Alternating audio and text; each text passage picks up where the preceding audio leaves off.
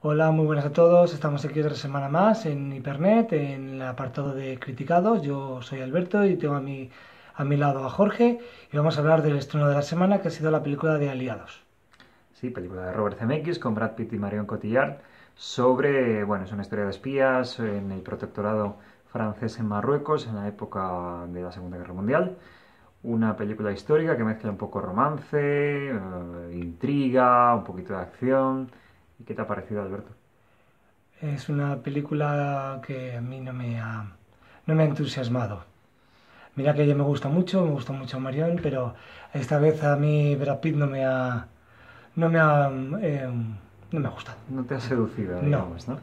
Bueno, eh, a mí no me disgusta, me parece una película con altos y bajos. Eh, empieza muy bien, creo que tiene una primera hora ah, muy interesante, pero el problema es quizá que mm, la segunda parte, cuando la película debería ir hacia arriba, que es cuando el gran conflicto de la película se pone, se desvela, en realidad el ritmo se, se ralentiza y, se hace muy cuesta arriba. Parece que hay dos películas, ¿no? Tiene un comienzo, un crescendo y una especie de clímax a la hora de película y luego como que vuelve a empezar otra vez una nueva película que es como más pesada. Entonces esa progresión narrativa inversa o esa regresión la hace un poco, pues eso, difícil de seguir y, y la hace pesada, la verdad.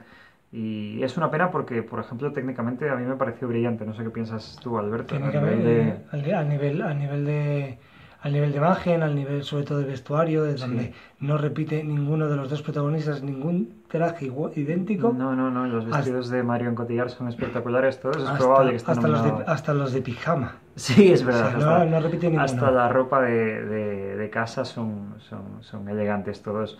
Y bueno, tiene dos actores que, que son además iconos de moda y bueno, pues se utiliza un poco de... de Sí, exacto, se utiliza un poco de, maniquíes y, de gancho eh, puramente visual, ¿no?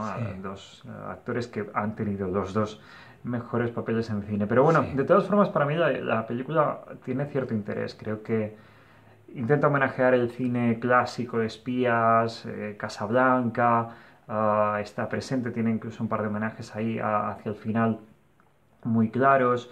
Ah, la idea es buena y, yo creo que, bueno, no, intenta, no acumula secuencias de acción, intenta ser, tener un tono intimista que se agradece, mm, no es muy, digamos, muy ruidosa ni muy aparatosa para ser una película, eh, bueno, pues eso, de espías y de la Segunda Guerra Mundial, pero insisto, el principal problema para mí fue el ritmo y como dice Alberto que Brad Pitt, bueno, a mí me parece ya desde siempre un actor bastante limitado, es un actor limitado a su físico, que siempre ha sido lo que explota en sus películas. Sí, bueno, luego ha tenido momentos en eh, los que ha sido un buen actor dramático, pocos, pero... ¿Qué te ha parecido el francés de él?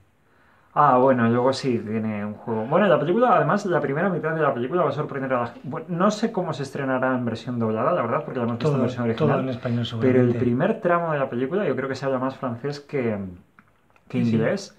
Y es muy curioso porque, en efecto, em, Brad Pitt tiene un acento, efectivamente, como dice Marion Cotillard, del, del Quebec, de la Canadá francófona cuando debería sonar parisino, pero bueno, juegan con eso también en la película, que no tiene el acento adecuado para ser un espía que se haga pasar por parisino, ¿no? Para nada, para nada. Pero bueno, Brad Pitt, eso, que ha tenido momentos mejores. Ha tenido Seven, ha tenido mm, quizá el curioso caso de Benjamin Button, momentos en los que ha estado mejor, Moneyball. y, y, Marion, y Marion Cotillard. Y Marion Cotillard tenido momentos mucho mejores. Mejores que este. sí. A ver si el siguiente estreno que tiene ella, que es la de... Con, Xavier Dolan, ¿no? Xavier Dolan y el con... Con, eh, con Michael Fassbender, con... Ah, Assassin's Creed, sí. Esas dos a ver si surge, porque yo creo que aquí le arrastra un poquito Brad Pitt a, a estar un poquito demasiado dramática hasta ella. Sí, puede ser que, se, que se pase un poco de, de melodramática, pero bueno, su papel también es un poco, no vamos a contar por qué, pero tiene bastante gancho ahí melodramático, un poco... Esa lluvia final. Sí, sí, bueno, al final. Y tiene un epílogo ahí, rollo Titanic, con unas fotos sobre una cómoda que es un poco exagerado. Bueno, como decimos, tiene altos y bajos. Tiene un par de... A mí me gustó mucho una escena, em, es la primera escena de acción, no vamos a desvelar cuándo sucede, pero el, ese primer tiroteo Sí. en la embajada es, Es es bastante- impactante, es porque además no sabes lo que van a hacer los personajes Exacto. y, y es sorprendente. Y luego hacia el final me gustó un momento en el que van los dos en el coche eh, visitando, vamos a decir, a, a personajes que tienen algo que ver con Marion Cotillard.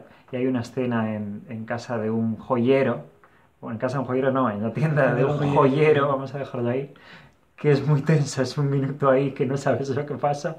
Y luego no, no, no, no pasa nada en realidad, es una escena más, pero bueno, que tiene pequeños detalles que dices, jo, pues es- tiene una planificación de escenas el tío, que se nota que hay un director detrás que ha hecho Hombre. muy buen cine y que, y que, y que sabe llevar el tempo de las escenas. es, no es mala película, no es una película de desastre, está, Pero el está guion bien, pero es- exi- yo, creo, yo creo que aquí exigimos mucho más eh, la película por ser, ser quien son los dos. Claro, y quién es el director. Y, quién es el director. Y entonces la como que se, también se presta como se muy desinfla. Son Sí. dos horas que en dos Se horas hacen creo- largas. se hace larga.